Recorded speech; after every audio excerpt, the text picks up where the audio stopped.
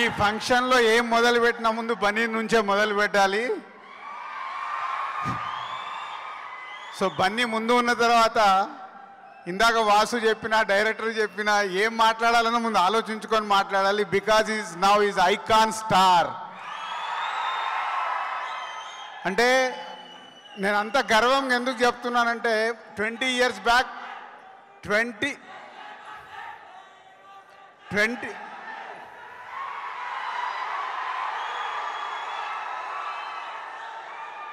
so twenty years back మా journey start అయినప్పుడు అందరము చిన్న చిన్న అడుగులేస్తూ ఎప్పుడు మాట్లాడుకుంటాం. ఈరోజు బన్నీ కానీ సుకుమార్ కానీ మా సంస్థ కానీ ఒక ఆర్య సినిమాతో తెలుగు సినిమా ఇండస్ట్రీలో స్ట్రెంత్ అయిపోయాం. ఈరోజు పాన్ ఇండియాకి వెళ్ళిపోయాం. బన్నీ కానీ మా సంస్థ కానీ సుకుమార్ కానీ only one film so the ఆ జర్నీ. ఈ జర్నీ వెనకాల ఆ రోజు ఆర్య సినిమాకి ముఖ్య కారకులు అరవింద్ గారు. ఆ కథని ఓకే చేయడానికి ఆ సినిమా సక్ ఆ రేంజ్లో సక్సెస్ అవ్వడానికి మమ్మల్ని ఎంత పిండాడో మాకు మట్టుకే తెలుసు. ఇరవై ఏళ్ళ నుంచి ఈరోజు కూడా డైరెక్టర్ చెప్తున్నాడు కదా అదే పని చేస్తున్నారు. సార్ మీ ఎనర్జీకి మీ ఓపికకి big thank you. And especially ఈరోజు ఈ సినిమా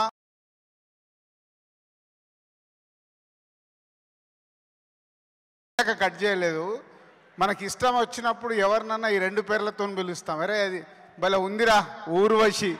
మనకు నచ్చలేదనుకో అమ్మాది పెద్ద రాక్షసిరా. అలాంటి క్యూట్ టైటిల్ పెట్టుకొని డైరెక్టర్ ఈరోజు ఈ సినిమాని తెలుగు ప్రేక్షకుల మనసుల దగ్గరికి తీసుకెళ్ళినందుకు big congrats for you and Dheeraj.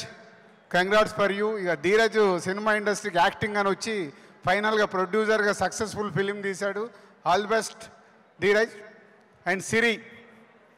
అంతే మళ్ళీ బన్నీ బన్నీ అంటే మళ్ళీ పక్కన సిరి కనిపిస్తాడు.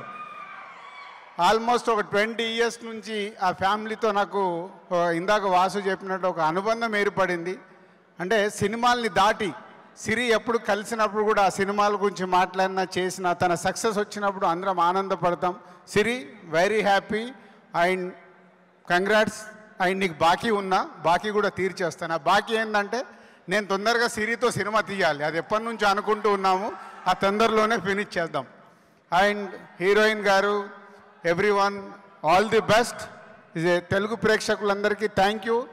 అరవింద్ గారు ఏదన్నా ఆలోచించినప్పుడు మంచి ఆలోచనతో ఆ సినిమా సక్సెస్ అయ్యే వరకు వాళ్ళు ప్రయత్నం చేస్తారు.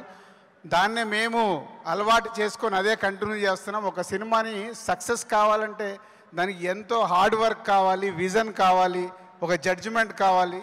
అది అరవింద్ గారి దగ్గర ఉంది. దాన్ని ఇప్పుడు జిఏ టూ వాసు కంటిన్యూ చేస్తున్నాడు. తెలుగు సినిమా అంటే కంటిన్యూ చేయొచ్చు. ఎక్కడో కన్నడలో కాంతారని రిలీజ్ అయితే కూడా దాన్ని తీసుకొచ్చి ఈరోజు తెలుగు సినిమా ఇండస్ట్రీలో ఒక ఒక కన్నడ సినిమాని అంత పెద్ద హిట్ అయ్యేలాగా చేసిన అరవింద్ గారికి వాసుకు అది కూడా కలవలేదు మనం.